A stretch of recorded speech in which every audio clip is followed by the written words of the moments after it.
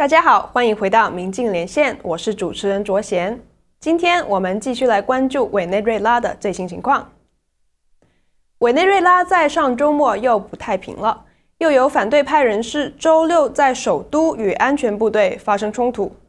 据美国之音的报道，反对派领袖瓜伊多的支持者在维多利亚大道上汇合，一边高喊“杀人犯”，一边冲破防暴警察的盾牌阻挡。要理解“杀人犯”这一说法，还得首先提到委内瑞拉的大停电。到这周一，委内瑞拉已经进入了全国大停电的第五天，许多媒体称之为史上最严重的停电，因为这是委内瑞拉在近年来延续时间最长的一次停电，原因到现在还没有查清楚。尽管周一首都卡尔卡斯宣布部分恢复电力。很多人还在后怕，不知道这一次的恢复电力能持续多久。停电至今已经造成了至少十七人死亡。反对派领袖瓜伊多批评是马杜罗现任政府的腐败和管理不力导致了这一次的大停电。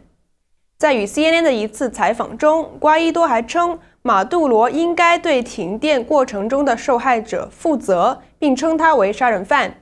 是他杀害了停电的受害者，而现任总统马杜罗则把这一次的停电归咎在美国暗中破坏上，说是美国和反政府组织的颠覆阴谋。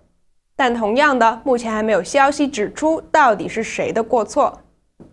而因为停电，委内瑞拉的政府在周一宣布全国学校停课，商业活动都停摆。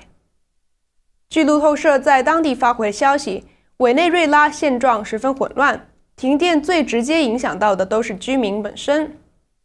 路透消息称，在加油站，人们大排长龙，延伸到街口。据加油站消息人士称，停电之下，全国一千八百个加油站只有大概十家在正常运营，家家户户顶着大太阳排队买水，因为平民家里一般都停电停水了。在很多的便利店里。因为没有办法制冷，商家都直接给客人送芝士、蔬菜和肉类等等。有些商店还因为停电遭到了哄抢。而受影响最深的可以说是在医院的病人。据美联社周末发回的报道，因为停电，医院中的育儿保温箱没有办法操作，很多母亲只能绝望地看着新生儿，担忧他们能不能活下来。而这周末在委内瑞拉发生的另一件值得关注的是，来自于《纽约时报》的报道。该报道爆出，上月烧毁人道主义物资卡车的并不是马杜罗的军队，而是反对马杜罗的抗议者而为。《纽约时报》称，讽刺的是，最先指责马杜罗烧毁人道主义物资和传播该谣言的，正是美方的官员。的确啊，在上个月。物资焚烧的消息一出，先是美国副总统彭斯发文称是马杜罗跟他的追随者放火焚烧美国派去物资的。随后，美国国务院还发布了一段美国救援物资被烧毁的视频，并且写明这是马杜罗下令而为的。这一段被发布的视频随即呢被疯转，在不同的视频网站和电视上都有播出。随后呢，美国的国务卿蓬佩奥和国家安全顾问博尔顿都跳出来指责了马杜罗。而《纽约时报》最新爆出的这篇报道贴出了未经剪辑过的原视频，说网上发布的视频其实是被刻意更改过的。说到中国，中国最近并没有再向委内瑞拉的情况进行表态，那么相比之下，美方似乎没有缓下来的势头。周日，博尔顿接受采访表示，瓜伊多仍然在斗争中占上风，说瓜伊多领导的反对派正不断地与军方接触，并讨论可能的结果。他还表示，美国总统川普在委内瑞拉的问题上并没有放弃任何的选项，但是博尔顿拒绝做出是否会进行军事介入的这个预测，称还要再观察委内瑞拉情况再定。委内瑞拉的情况越发复杂，而这场停电引发的纷争，到底谁才是祸害的源头呢？反对派上台之后，民众的生活是不是真的会有改善呢？在这一期的《民进连线》节目中，我们就来探讨这个问题。拉丁美洲的长期观察者和分析员、现任哥伦比亚政府 Pro Colombia 的顾问哈里与我们进行了连线。哈里他专注于分析委内瑞拉的经济危机。所以，在我问及他觉得到底是什么引起了委内瑞拉现在经济危机的时候，他表示，其实委内瑞拉的经济从至少六年前就已经开始走下坡了，只是最近媒体关注的更多而已。他认为最根本的原因是委内瑞拉的经济结构过度的依赖石油出口。我还问了受访人哈里，他对《纽约时报》爆出的这篇关于人道主义物资的纷争文章怎么看？他觉得他最直观的感受就是，所有关于委内瑞拉的现行报道和文章都过分的政治化了。他说，这个国家其实至少从六年前就已经开始两极分化严重，人口的一大部分仍然支持查韦斯的价值观，反对任何国家政治的干预，而人口的另一部分则反对政府，恨不得马上逃离国家的经济危机和暴力。这双方一直都在僵局之中，不愿意接受真相，也不坐下来讨论。我最后问哈里，他觉得瓜伊多上台能不能挽救委内瑞拉于水深火热之中？他就表示并不一定。他举了墨西哥作为例子，说墨西哥花了十几年来调整经济结构。同样的，如果委内瑞拉能想清楚自己要怎么发展行业，要怎么摆脱石油的依赖。也起码要花上至少十五年才能调整好经济结构，不然一直还是会民不聊生。哈里还跟我分析了委内瑞拉的外交关系中一直被忽略的一个国家，也就是印度。印度是委内瑞拉的第二大石油出口国。他跟我们简述了为什么现在委内瑞拉应该更加看重他跟印度的关系。关于委内瑞拉形势更多详尽的分析。请听接下来我跟哈里的连线对话。Um, at first, I want to uh, I want you to talk to us a little bit more about your uh, Wilson Center report uh, about the uh, economic relationship between India and Venezuela, which is often neglected. So, could you tell us more about that and what would be the major takeaways that you hope the audience can get? Um, well, the report is actually part of a series uh, the Wilson Center is doing on a few countries that are key economic or political uh, partners for Venezuela. So there's another paper on Russia, and uh, they had asked me to do the one on India. Mm-hmm. Um, and basically, like you said, you know, it's not an issue that uh, people talk about too much. India's relationship with Venezuela. Mm-hmm. So the point of the report is just to shed some light on what exactly is going on uh, between these two countries and when exactly did it start and uh, what is the outlook for the future. So I tried to outline a few things that mm-hmm. sort of uh, bind India and Venezuela together, mm-hmm. and it's pretty much just oil uh, for now and I don't think it will expand into too many other areas anytime soon. Hmm. Um, but in terms of oil, you know, Venezuela has a lot of heavy crude, um, and there are some private refineries in India that can refine this heavy crude at uh, at a reasonable cost, and they are the ones who are buying uh, Venezuelan oil.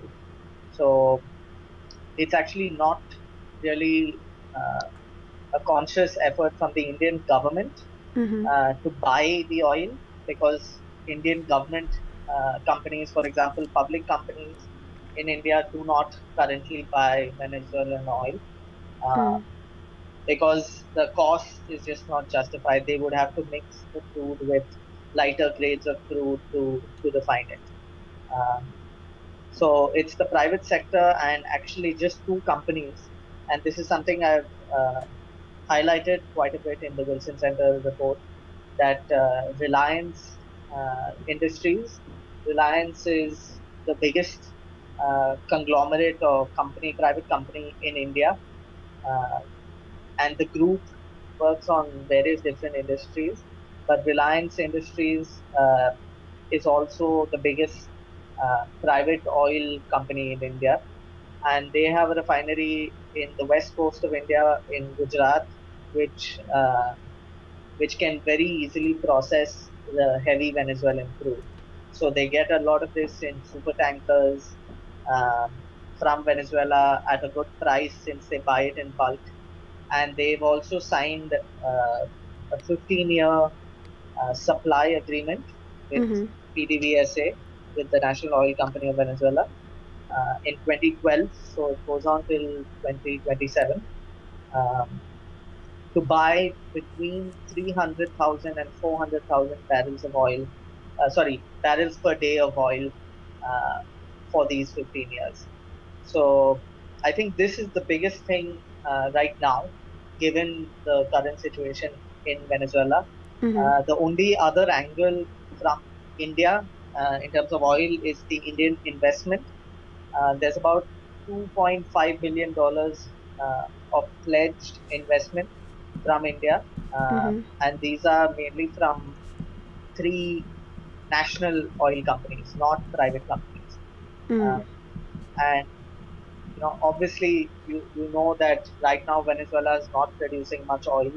Um, it's gone down to I, I'm not sure how much it would be today, but it's about one or even less than one million barrels per day of oil uh, being produced in Venezuela. Mhm. So these Indian companies that have invested are not really, uh, you know, they're not really producing much in the oil blocks that they have invested in. Mm. So Why do you think I it's think that's, uh, important? just the outline of the. Right, okay. So, so why do you think it's important for people to notice this relationship now? Um, now I think because right now, since Venezuela has stopped exporting to the US because of the US sanctions, um, India is the biggest buyer, and not too many people would have uh, realized the the sheer quantity of oil that India buys from uh, Venezuela, and it has become more apparent now just because the US has stopped uh, buying. You know? Mm. So it is the biggest source of foreign revenue of uh, foreign exchange for for Venezuela right now, and that foreign exchange, as you know, is is quite a precious uh, commodity now in Venezuela. They need the foreign exchange to to import a lot of other products that are essential, like medicines and you know, Hmm. any any type of everyday supply. Mm. And what do you Yeah. think is the most prominent reason behind Venezuela's current economic crisis? Um, uh, you know, I think firstly, the crisis has reached a certain point today in March 2019. But uh, for anyone who's been following Venezuela for a while, it has been the economy has just been uh, falling into a complete decline. I, I'm not sure since maybe six years or five years or so now. Mm. So I think it's important to remember that that it's not something that has happened overnight. Mm. Uh, e- even if the news cycle has caught it only recently, but ever since about 2012, 2013, Mm. uh, and uh, the fall in or the drop in oil prices, the economy has been hit quite badly. Uh, and to be frank, there are a lot of structural issues apart from the fact that the administration has really not been able to handle the economy. Mm. Uh, one of the structural issues is that uh, Venezuela as a country never really stopped being dependent on oil imports, oil Mm. exports. Mhm. So the oil exports, I think, should account for, uh, I think, about 98, 99% since the past 20, 30 years. It's been over 90% at least. You know? Mm. So it's not something new. They've been highly dependent on oil, and that itself is not a good thing. They needed to diversify many years ago, and they haven't. And uh, the drop in oil prices and some really bad management of the economy by the current regime has, I think, led to where they are now. Right. I'm sure you are aware of the New York Times stories over the weekend that said the uh, humanitarian aid was not Uh-huh. yeah was not damaged by Maduro's forces, but instead was caused by an anti-government uh, individual. So so what do you think we can interpret from this story? Yeah, I actually saw that uh, video. Uh, Right. The New York Times said it was, uh, yesterday, I think I saw it, um, or maybe earlier today. But Mm. uh, you, you know, to be frank, I find it quite uh, disappointing that even something like uh, the humanitarian crisis has become so politicized. Uh, I don't think it should have ever become politicized because at the end of the day, uh, people are starving in the country. People, you know, are not able to buy essential goods. Uh, we've even heard about the amount of weight people in Venezuela have lost over the past few years. Uh, but uh, I, I think it's unfortunate that the crisis has become so politicized. And at least in terms of humanitarian aid, it should be allowed to function without this politics. If aid is required, it should be able to uh, reach the people that, that need it, whether it is through, uh, you know, I, I'm not really sure, uh, as an observer of this uh, crisis, I'm not really sure what is the right way to get humanitarian aid into the country and who should distribute it and all of that. I don't have the answers to that, but uh, my guess would be that you should have some uh, mediating or uh, non-partisan agencies like the UN, the United Nations, the Red Cross, uh, to do this, and you know it should be left to non-partisan agencies so that they can actually get it to wherever it needs to be. Hmm. And I'm sure UN has been trying to intervene in these issues, and they've just been kind of stopped by the current regime. So, so how do you think non-politicized agencies can ever intervene if uh, Maduro is still in power? Yeah, you do have a point there. So it, it's not going to be easy. You're going to need someone to mediate over that. Um, and because of what you just said, I Hmm. don't think it will stop becoming politicized. So Right. now that uh, even the humanitarian aid has become a political issue, it's hard for it to not be political anymore. You know, unless you have someone who can mediate between the government and the opposition and international forces. It, like you said, it's it, it is going to become a political issue. hmm So. I, I really don't mm, have a solution there. You know, I'm not sure what is the right way to go about it. But uh, obviously, the solution has to be that whatever is required by the people uh, should allow to enter the country. Hmm. Another pretty uh, worrying situation over the weekend is the uh, power shortage, and it looks like it's the worst in memory. So you you previously previously mentioned that this crisis, this economic crisis, has been going on dating back to six years at least ago. So, so why do you think this has reached this historical peak at, at this moment? Um, from what I've read, um, I think the uh, the national agency or the organization that is responsible for electric power supply was uh, like the government took control of that agency many years ago, Hmm. uh, and since then, uh, I'm not sure how many years ago, maybe three or four years ago, uh, but since then, you know, they have not done adequate. They have not done adequate. Uh, what do you call it? Maintenance of Mm. these uh, power supply lines and of the Mm. machinery, and you know, I hopefully, I hope that uh, even things like power. That's the most basic thing you can expect of a country that uh, that is as uh, resource rich as Venezuela. That actually, until a few years ago, until about a decade ago, uh, could boast a lot more things than just having uh, you know electric supply. Mhm. Uh, but yeah, it, it's just been a very haphazard management of of so many industries. I can't even get into uh, uh, how badly so many different industries in the country have been managed. Right. So, if the situation is so deeply rooted in the country's history, do you think even if uh, Guaido comes to power, this can change? Um, no, so what I meant was that the uh, economic crisis right now is rooted more in the last the performance of the government in the past few years, Mm. but also on structural issues. Mhm. So in terms of the structural issues, yes, even any other opposition leader will have to deal with it.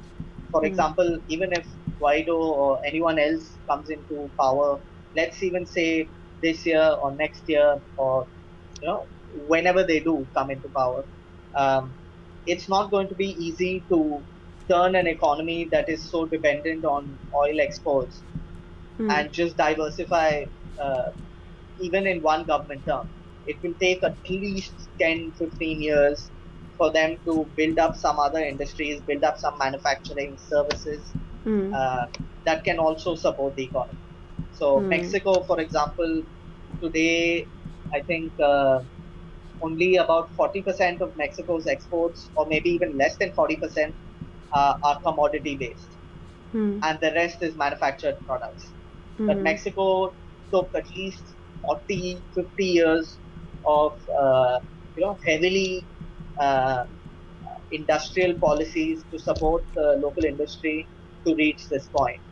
Mm. So even for Venezuela, they need to, whichever government does come in, they need to figure out what industries to build up in the short term, what Mm. industries can support the country in the medium term. Uh, can they do manufacturing uh, of, of vehicles, of uh, of household goods, whatever it is? They need to build up some industries that can support the economy when oil prices go down. Hmm. Good point. Uh, my last question would be: What would you, what would you hope people can understand more about the current situation in Venezuela? Um, I I think uh, the one thing that I find most unfortunate is that about six years ago, Venezuela was already a very polarized country, Hmm. and now um, it is becoming even more polarized, where you still have uh, a good section of the population that uh, supports the Chavistas and that does not want, for example, foreign intervention, that does not want uh, Hmm. The US or any other countries to interfere uh, militarily or uh, you know with any use of force. Hmm. Uh, and then you also have a big part of the country that uh, is desperate to get out of this uh, economic crisis, economic social crisis. The levels of violence also are so high now, um, and there are many people who want to escape from that as well. You know, and Hmm. unfortunately, both sides have some validity. Both sides are uh, uh, speaking their version of the truth. Right. Uh, so it, it is a very complicated situation, and even if another, even if the opposition, for example, does manage to come to power soon, uh, it's not going to be an easy situation. Hmm. Uh, what I on- can only hope for is that it does not become a protracted sort of uh, violent uh, transition. I hope that the Venezuelans and uh, primarily the Venezuelans themselves can find some sort of peaceful uh, way to transition from this regime, if at all they do. Uh, that that would just be, I think, the ideal situation that we should all be going for. Any sort of military uh, intervention will also will not only affect Venezuela but neighboring countries as well uh, in the region, and it would be a real uh, disaster if, if that ends up happening. Hmm. All right, thank you so much, Harry. 以上就是今天的民进连线，感谢您收看民进电视，我们下期再见。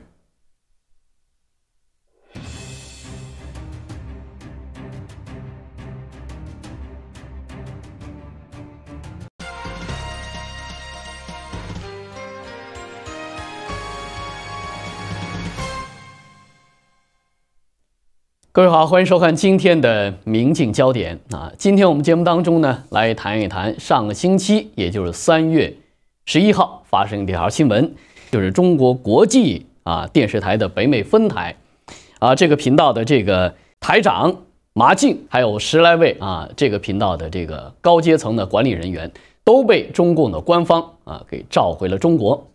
那么这个事件呢？呃，也引起了多方的这个报道和关注。首先，第一呢，美国司法部要求啊，这个媒体这个机构呢，要按照外国登记人啊外国代理人登记法来要求进行登记。所以呢，之后这个中国环球电视台向美国司法部就提交了这样一个备案的文件。那么这个台长啊，麻静在文件当中呢，就声称中国环球电视网并不听命于中国政府，是一个独立于任何国家的新闻机构啊。大家可以看到这个照片啊，我们就知道这个麻静在交给美国司法部的这份备案文件当中所声称的与中国政府无关啊，是一家独立的机构，到底是不是在撒谎？大家看照片当中，这是。中国啊，官方媒体央视曾经对这个麻静的一个采访的一个照片，下面的这行字大家应该可以清楚的看到，他的头衔是中央电视台北美分台的台长。这个中国环球电视网北美分台呢，实际上就是中国的中央电视台它管辖下的一个海外的一个分台。那么它的前身叫做什么呢？叫做中央电视台。啊，就是中央电视台英语新闻频道啊，以前就是 CCTV News，后来啊，在二零一六年的时候才改了名字，才改成了现在的这个呃 CGTN，也就是说，这个媒体它是个百分之百的如假包换的中共的党媒。所以，这个麻静首先在提交给美国司法部的这个备案文件当中，声称这个机构、这个媒体跟中国政府没有联系，这就是撒谎，这就是在睁着眼睛说瞎话。那么他在遮掩什么？他为什么这么说呢？他撒这个谎，他的原因是什么呢？是不是因为这样一个撒谎，因为这样一个语言的表态啊，触怒了这个习近平，或触怒了中国的官方？所以要把他们调回去呢？那如果说像麻静自己说的，他这个频道跟中国政府官方没有任何联系的话，那为什么中国政府把他们调回去、召回去、叫他们回去就回去呢？当然，到底是不是因为麻静说的这个话惹来了这个麻烦，惹怒了这个中共的高层啊？咱们往下说啊，不一定是因为这个事儿。我们来看一下相关的资料啊。那么这个媒体呢，是在二零一二年的时候啊，二月六号正式在美国首都华盛顿就开播了。呃，开播的时候，它的名字就叫做中央电视台北美分台，这一点都没遮掩。当时这个中国官方政府也当时没有遮掩过啊，这就是中共的一个官方媒体。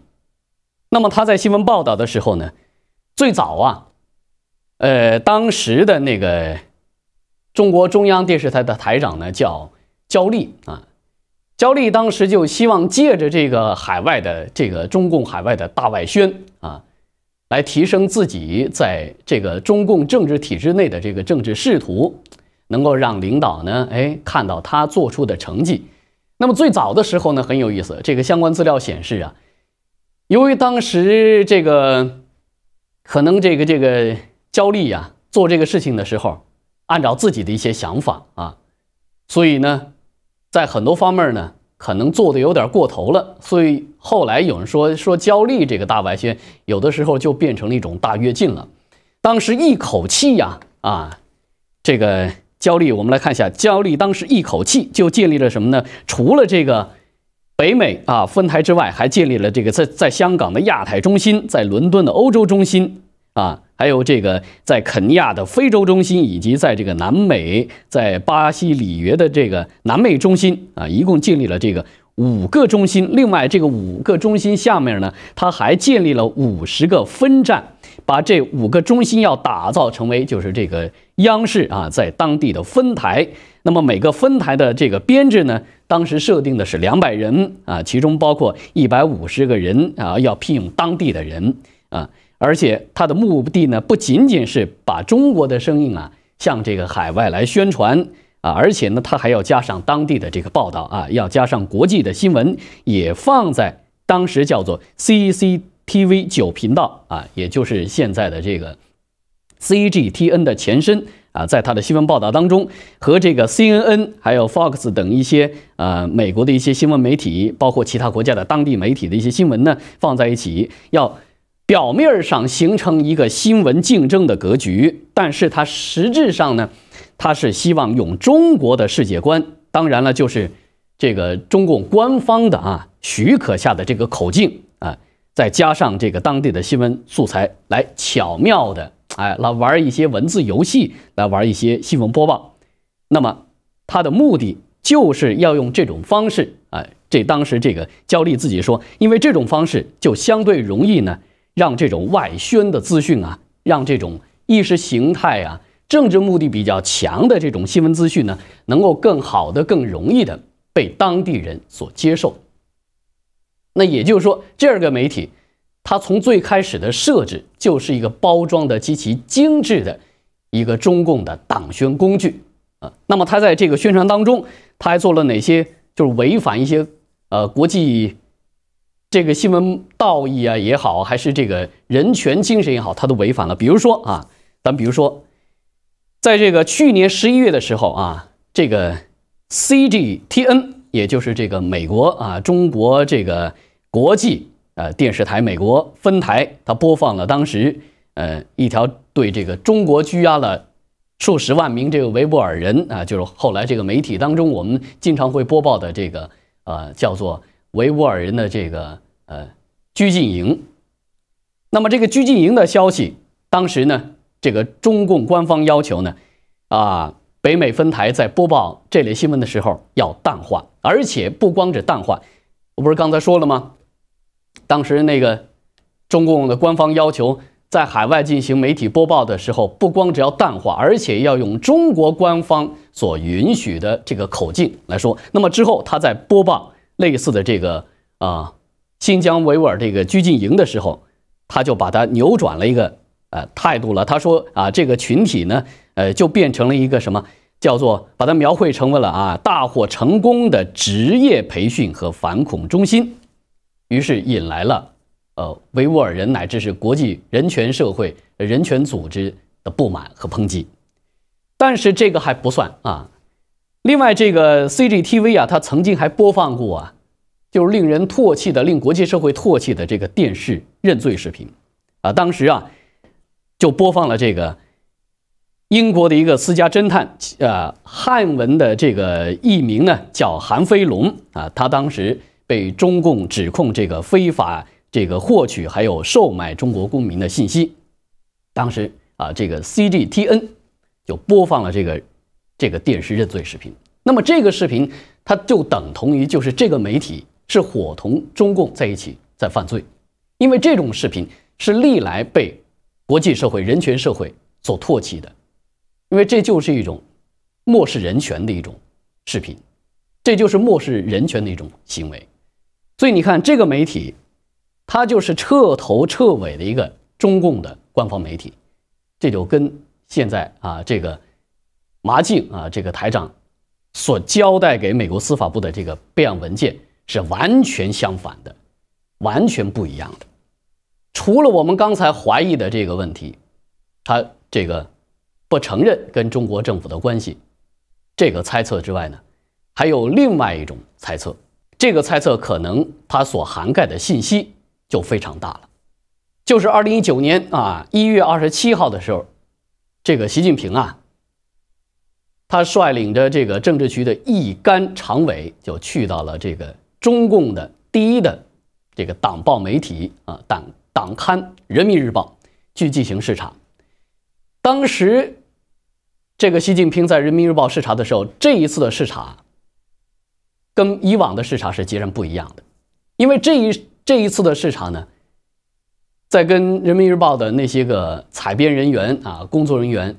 在进行这个会谈的时候，座谈的时候，一坐就是四个小时，这相当于两会了，就这么长时间的一个座谈，那这个当中他到底交代了什么呢？肯定就是跟这个中共的这个宣传有着密切的关系。这个当中，习近平他主要是下达了这个有关于中共的宣传的一些调整的重大的方向和他的一些个命令。而在这个期间呢，我们看到，中共现在已经把这个宣传作为了非常重要的一个例行。当然，一直以来，这个宣传在中共的这个执政当中呢，就是非常重要的一个工具。所以，这个媒体呀，在中共的体制内啊，它其实不是一个这个传媒机构，它不是从事传播的。就像当时这个。呃，央视的前著名主持人这个崔永元啊，在离开央视之后，有一次在华盛顿做演讲的时候就讲了，他说他做了那么多年的主持人、记者，其实干的不是这个传播，是什么呢？两个字：宣传。就中国的所有媒体，中国没有不是官媒的，只是分大官媒和小官媒而已。那么像人民日报、像央视，这就是大官媒；那么像其他的像省台。对吧？市级电视台，它是啊小官媒。那么有人说这个自媒体呢？自媒体你在中国在那个土壤当中，它的播放渠道是被官方所控制的。哪怕你个人制作的视频，你在家里制作的，那最后你要通过这个官方的平台来给你播放。那人家不认可，你达不到这个官方媒体这个宣传的要求，你是不能播放的。所以在中国没有。非官方媒体都是官方媒体，只是大小而已啊，只是主管的这个隶属单位不同而已，级别不不同而已。所以，那么这一次无外乎习近平是在加强这个中共的宣传，而且习近平对目前这个中共的这个宣传是比较不满意的。为什么呢？因为这个目前的这个中国央视的这个台长盛海雄啊，他以前不是做电视的。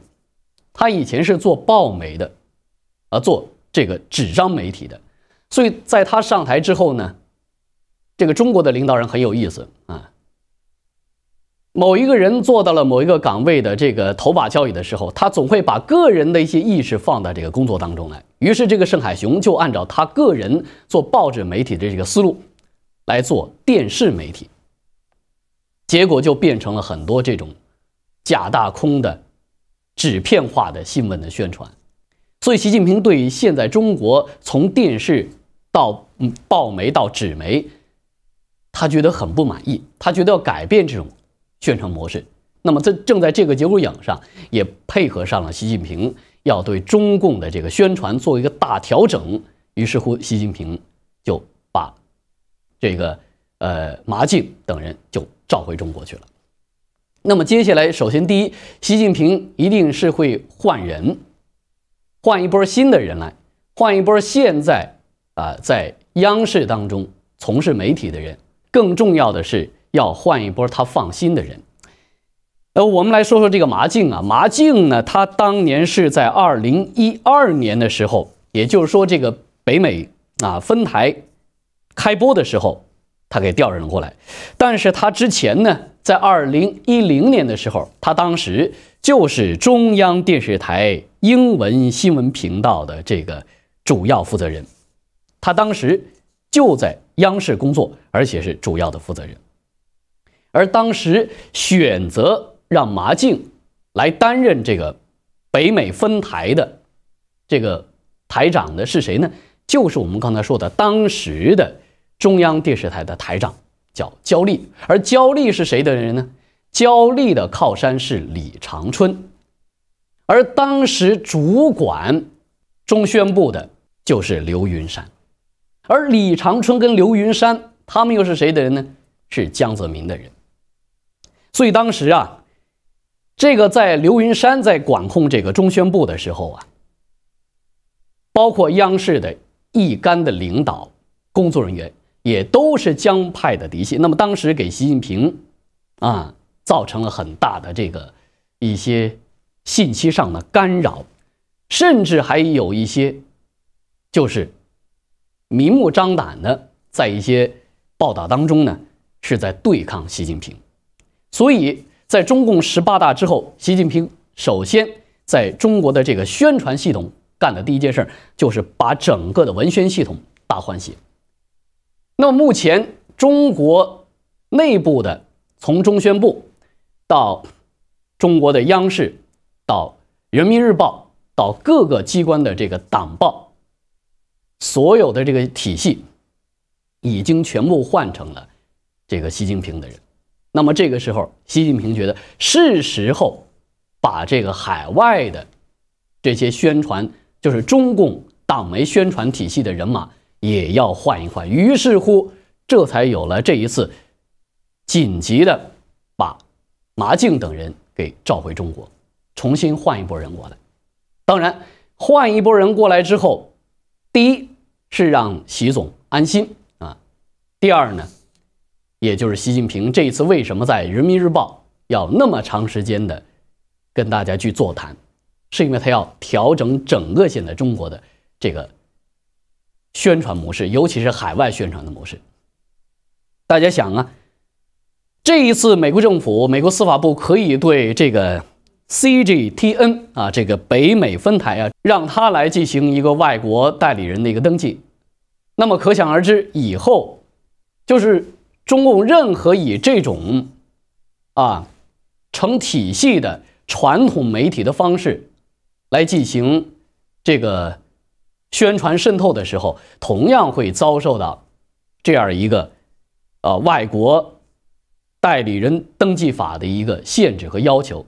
那是他可以查得到的，因为这个美国司法部这个外国代理人呃登记法要求呢，只要你跟某个官方或者准官方的机构是已经确定了有一个从属的关系，那么你每一年就必须向美国政府来提交这一年当中，就你的这个主体的这个政府，他向你下达了什么命令，你在帮助他做什么工作，那么这些工作对美国有什么样的影响？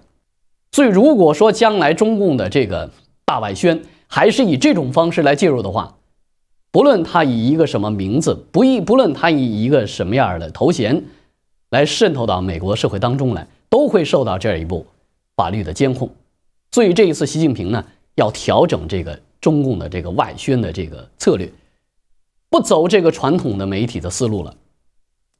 那走什么途径呢？当然，报纸是不可能的，但报纸它会保留，但是它不会把最核心的意识形态的这一类的宣传过多的放在明面上，免得招这些不必要的麻烦。那么这个当中，哎，大家可以看看，我手里拿的什么？手机啊！现在已经进入了自媒体的时代了。习近平他也明白呀，他也会与时俱进啊。这中共啊。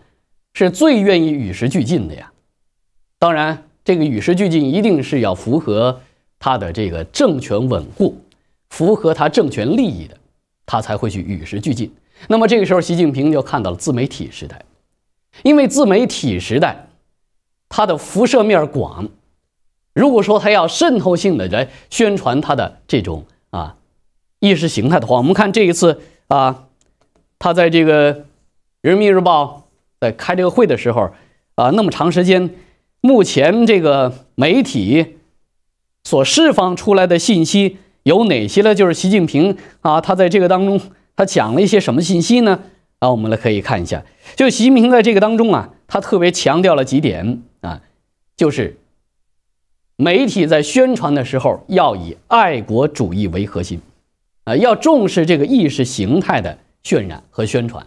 而且他还特别强调了一点，强调了什么呢？要利用互联网信息、互联网网络的传播，来整合互联网媒体的资源。后面有一句模棱两可，说要让互联网这个世界变得更加的清朗。这话好像是说，就是单单的让互联网变得更干净，少一些这个什么色情的、暴力的呀，啊，这样一些低俗的信息，让它变得更加的干净，是指的这个清朗吗？那一定不是。这个清朗指的就是说，要让这个互联网的媒体。成为中共宣传的一片新天地，一片新的天空，啊！中共宣传将来会在互联网、在自媒体这个方面来架起一道新的这个沟通的桥梁，而这个桥梁，它辐射面之广，它的这种啊影响之大，是大家现在已经可以预见了。因为我们每天都在使用 Twitter 也好啊，Facebook 也好，还是微信也好，大家都可以看到这个自媒体带来的这种力量。更重要的是，中共认为，觉得自媒体是最难监管的，自媒体是最难管控的，因为它当中的这个啊可乘的机会太多了。监管难度是最大的，于是乎，习近平就想到了要利用自媒体来进行大外宣。如果说啊，这个因为马静讲了那么一句话，就把他召回去，这就显得太简单了，这就显得这个中共这个体系啊，哎，太幼稚了。他才不会因为这么一句话就把他给召回去，是因为他有更多的考虑，更多的思虑。而且，马静他们这一批啊被招回去的这个 CGTN 的这个主管，大家看这个时间很有意思。他们是在二零一二年的时候开台的时候，就以这个工作人员的身份就来到了美国。那么到今年二零一九年，这个时间很有意思。六七年的时候，六七年的时候正好就是他们在美国的身份的一个转变期。那么这个时候，中共把他们召回去，也是从另外一个角度来说，不希望这批人他们转变身份之后继续留在美国，因为他们在执行中共的这个宣传命令当中啊，嗯，他知道的信息太多了。而这些信息呢，恰恰是中共不愿意让他们将来啊变更了身份之后，他就可以自由的去说。中共特别不希望这些他们不愿意让大家过度解读、过度了解的信息给散布出去，所以在在这个时候，赶紧的把这一批人全部都召回去。这个时候就控制他们的这种。身份的变更，所以你看，哎呀，在中共体制内部，不论你说话不自由，甚至有的时候啊，你的人生都是不自由的，你都没法决定你要说什么，甚至有的时候你都没法决定了你要用什么样的方式去生活。好了，今天我们节目就为大家分析到这儿了，分享到这儿了，也感谢各位的收看，我们下一次的节目再见。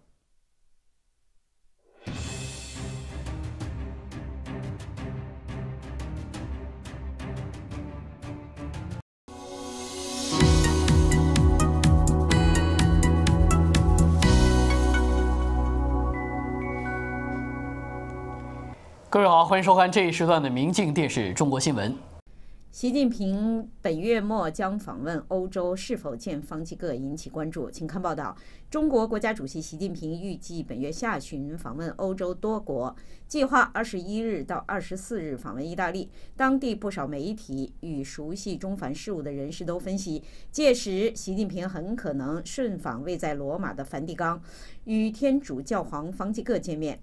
针对此消息，全国政协委员、中国天主教爱国会副主席雷世银回应时说：“如果两人有机会见面，这当然是好事。”有消息猜测，中国更希望天主教皇前往北京会见中国领导人，而不是中国领导人前往梵蒂冈会见教皇。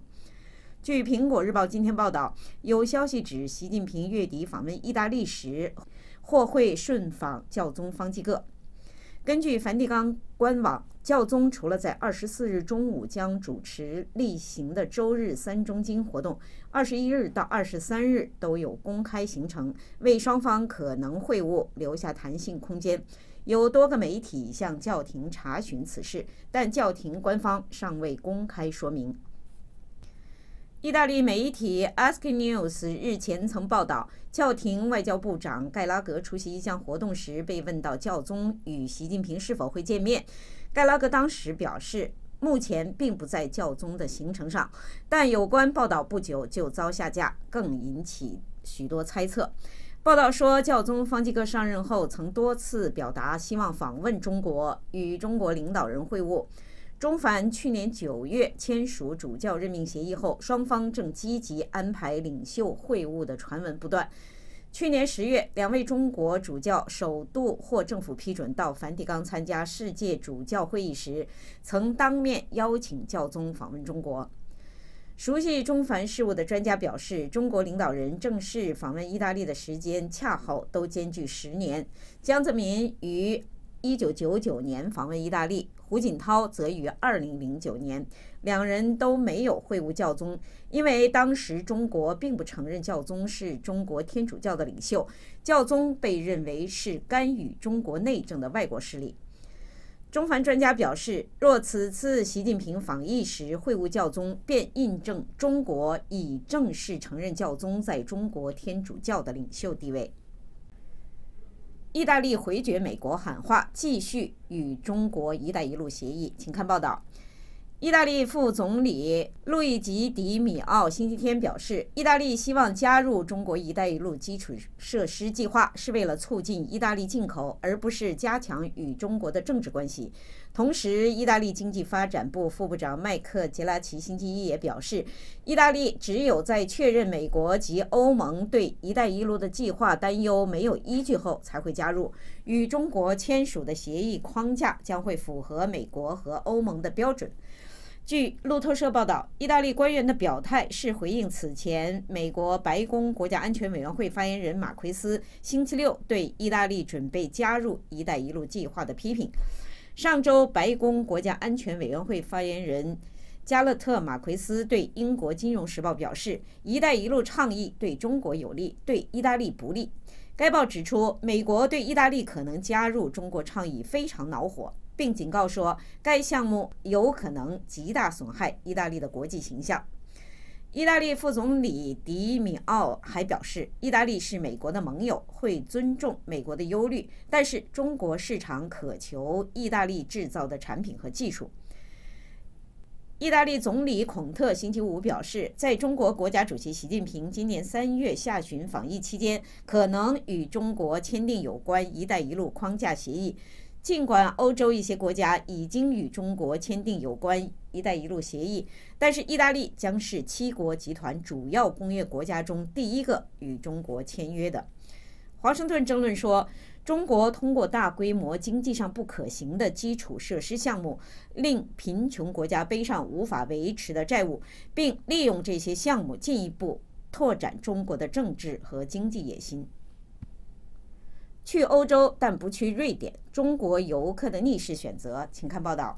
据香港媒体报道，德国一个专门推广中国境外旅游的组织估计，中国未来五年内至少有2.5亿人次出国旅游。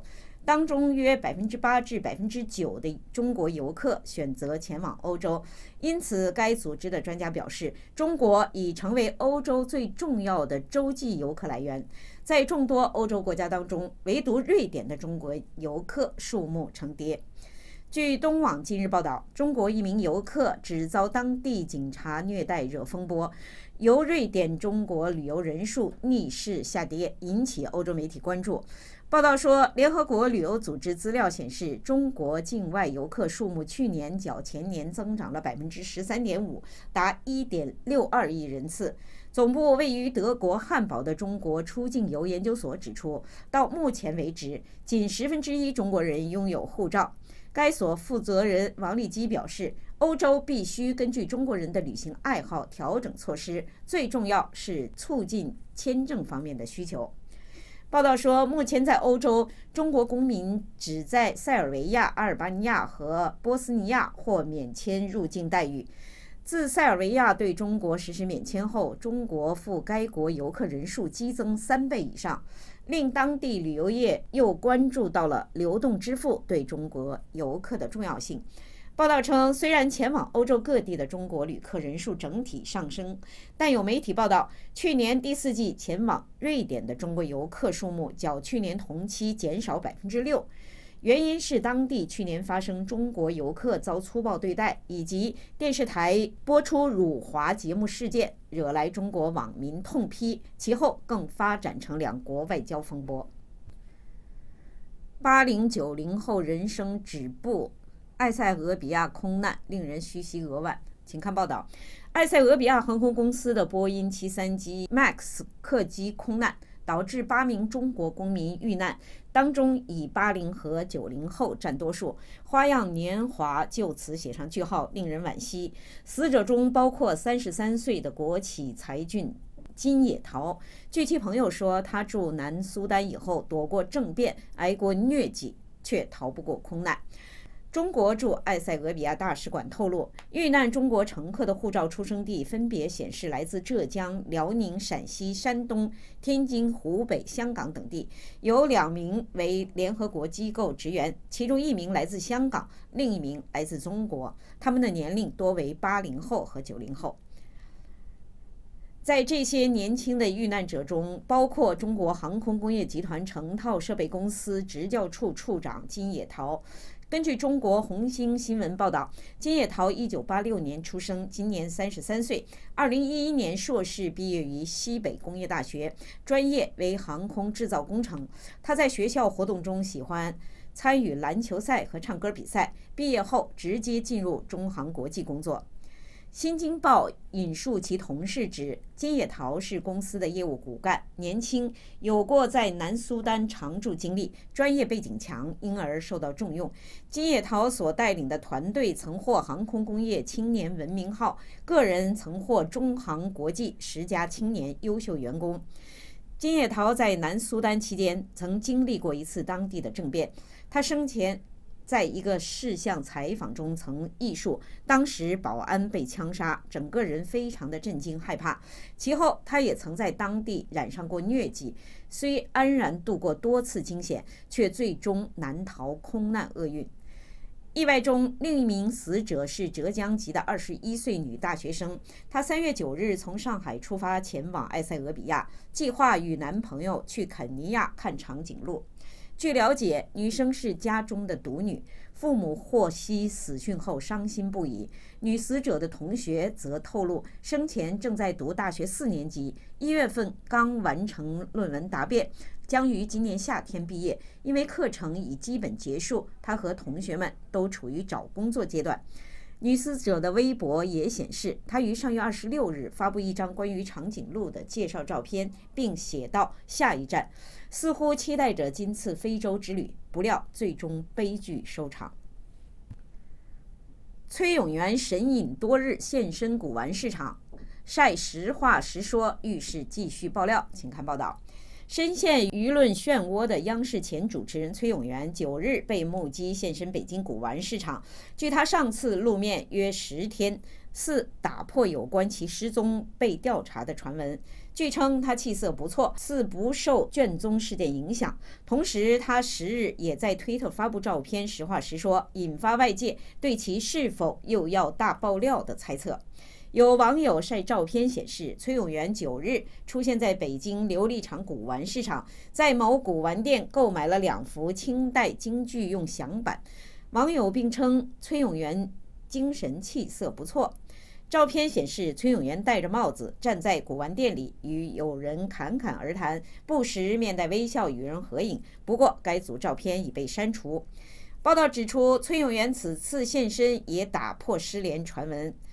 崔永元上次现身是二月二十八日，中国传媒大学党委书记陈文生到崔永元口述历史研究中心调研指导工作。次日，中国传媒大学官网发布这一消息。崔永元也在微博表示：“这学期我有两门课，还要筹建一个学院。”但三月一日中午，中国传媒大学官网的消息及崔永元微博已被删除。崔永元主要是在中国官方将最高法院卷宗丢失案定性后，外界十分关注他的踪迹，猜测究竟是否会被带走调查。崔永元曾于二月二十二日在推特发表黑屏图片，疑暗指案件另有内幕。随后，他就在网上消失，并被网友认为其被失踪、被调查。就在昨天十日，崔永元在其推特上上传两张照片，照片内容是“实话实说”。崔永元，二零一九年三月九日。崔永元以敢言著称，从二零一八年开始，先后曝光中国影视圈阴阳合同。检举上海警方不作为，曝光中国最高法院卷宗丢失。为此，他得罪了许多权贵人物。有分析称，崔永元手书实话实说，预示以后继续揭露社会不公。民调显示，美国人对中国的好感度下降。据俄罗斯卫星通讯社报道，美国民意调查机构盖洛普公司发布一份民意调查显示，对中国持好感的美国人比例达百分之四十一。最近一年，这一比例明显下降。二零一八年，美国人对中国好感度达到百分之五十三，二零一七年为百分之五十，而目前的好感度相当于二零一二年的水平。根据社会学家的数据。对中国好感度最高时期是一九八九年，百分之七十二；好感度最低时期是一九九七和二零零零年，百分之三十三。民意调查结果表明，美国对于中国经济实力的担心与日俱增。目前，百分之四十六的美国人认为中国经济实力对美国构成威胁。二零一八年，持有这种观点的美国人比例是百分之四十。这项民调于二零一八年二月一日至十日进行，超过一千名十八岁以上的美国公民参加了调查。以上就是这一时段的中国新闻，我是木子，谢谢您的收看。接下来带您回顾稍早的中国新闻。观众朋友您好，欢迎来到中国新闻，我是徐若琳，一起先来关心新闻提要。中国领导人习近平昨天发表最新的对台谈话，他强调对台湾只要能够做到的都要尽力去做。另外，美国国务卿蓬佩奥发表演说，高调痛批中国农业以及食安的问题。美国政府对中共的警惕还没有松懈吗？还有中国的维稳费超高，有政治评论家就认为这表示中共的监控无所不入。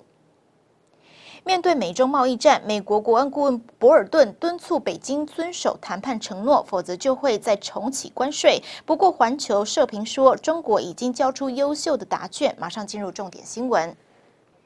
新闻的一开始，我们先来关心中国领导人习近平继一月发表对台的习五点之后，现在又有最新的公开涉及台湾的谈话。他昨天呢，在全国人大福建团组中表示，对台湾同胞要一视同仁，继续推出惠台利民的措施，像是要努力把福建建成是台胞台企登陆的第一家园。习近平就强调，两岸要应通尽通，只要能够做到的，都要尽力去做。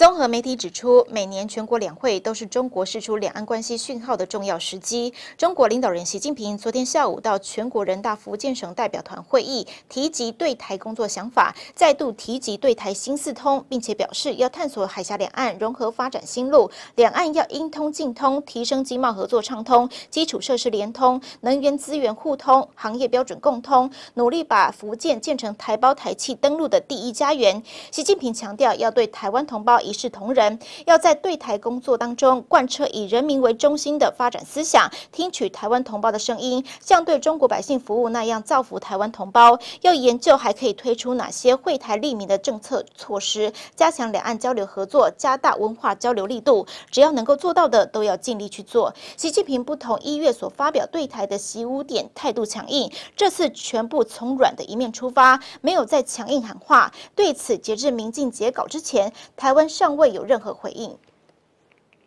好，继续我们来看，美国国务卿蓬佩奥日前在爱荷华州发表演讲，主题呢是围绕在美国农业食安的议题上。他谈及了美国的农业与创新，不过也提到了中国当局窃取美国种子以及农业技术，甚至呢是不重视这个食品安全，使美国与中国人民受害。蓬佩奥的演讲内容在网络上公开之后，引发舆论界的关注。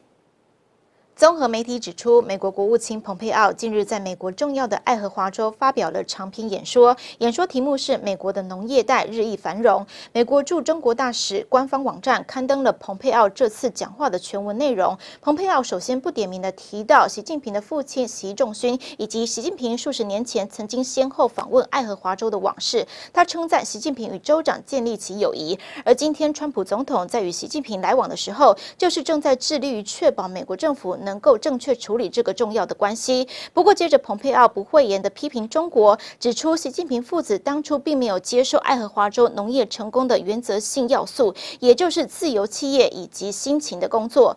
中共政府推行由国家主导的一整套经济行为，以强硬手段让政府对经济指手画脚，必然导致生产率下降、创新停止、人民生活日益困苦。同时，中共也违反自由市场的原则以及公平竞争精神的做法。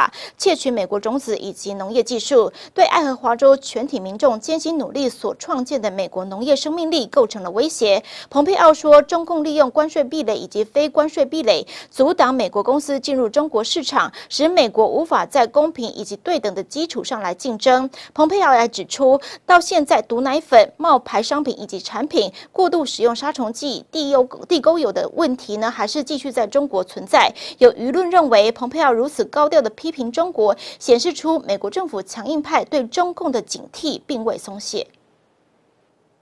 好，另外我们来关心中国的维稳费支出会反映出监控程度吗？根据最新的一份数据显示，中共今年花在公共安全支出，也就是维稳费的支出，占全国一般公共预算支出的百分之五点九，等于是一点三九兆元人民币，比公开的军费还要多。对此呢，正评家林和利就在报社的一篇文章当中指出，从这些支出数据清单来看，显示中共警察国家的机器无孔不入。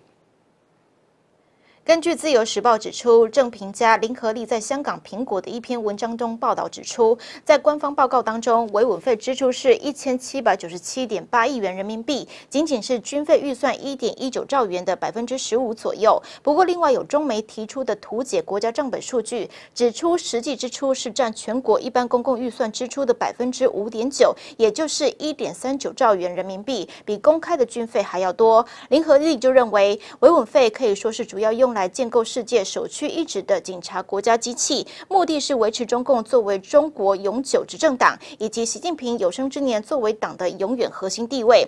他们用高科技防控机器，可以对所谓新黑五类分子，包括意见人士、维权律师、公寓领袖、地下宗教人员等等，进行二十四小时的监控。从支出就可以显示中共警察国家机器如何无孔不入。举例来说，除了一般所知道的街头摄像头监控设备，中国各大小城市近年发动人民战争式的治安志愿者组织，这些俗称民间业余间谍，负责向公安单位通风报信。志愿者除了有车马费之外，提供猛料的情报的，往往都还可以拿到几万元的奖金。这些费用基本上都是由地方政府以及公安来分摊。另外，像是新疆与西藏的集中营以及洗脑基地，中共所需要的费用支出也必须以数十亿元来计算，有些甚至超过公开的维稳费数据没有公开。开，其他的还有企业由企业来负担的维稳经费，透过企业来监控人民与世界。还有关于美中贸易战，美国国安顾问博尔顿昨天证实，川习会的时间还没有敲定，警告北京呢，还是得要遵守贸易谈判承诺，否则就要重启关税。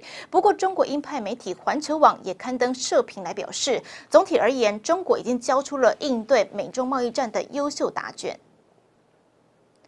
根据中时电子报指出，中国鹰派媒体环球网昨天刊登社评，指出中国经济去年保持基本的平稳，特别是人民币汇率稳定了下来，金融形势总体是可以控制的。如果换成是任何一个国家，面对被美国盯着制裁，货币汇率都可能会跌掉一半以上。但是人民币显然是经受住了考验。总体而言，中国交出了应对美中贸易战的优秀答卷。社评还指出，现在并没有美方态度发生突变的理由。中美在谈判最后阶段的心理态势是平等的。对中国来说，人民并不会产生太大的期望落差；对美国来说，社会对将达成协议的预期比中方更是强烈。一旦谈判破裂，痛苦与代价恐怕会更大。不过，根据中央社的报道指出，白宫方面，美国国安顾问博尔顿今天证实，美国总统川普与中国领导人习近平的川习会时间尚未敲定，贸易谈判仍然是有许多工作要做。他警告，如果中国不履行，承诺，美国当然可能会重启关税。博尔顿说，长期来看，尤其是如何确保协议执行，检视中国是否兑现承诺，是美国的谈判目标。好，接下来一起来关心我们为您整理的中国简报。根据中央社引述中国媒体指出，伊索比亚航空公司一架飞往奈洛比的波音737 MAX 客机昨天失事坠毁，机上一百五十七个人全数罹难。中国外交部发言人陆康十号就表示，有八名中国公民罹难，其中包括一名香港居民。中国要求伊索比亚方面尽快查明事故的原因，并且做好后续处置。除此之外呢，中国民航局已经下令全面暂时停飞同行的飞机。